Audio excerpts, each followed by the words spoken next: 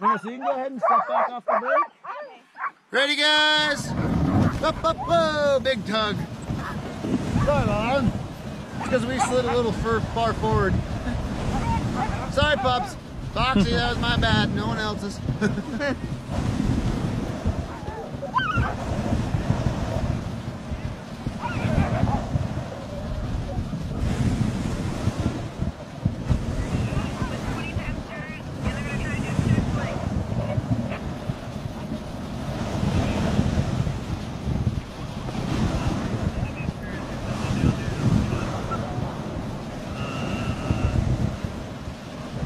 That does not concern me.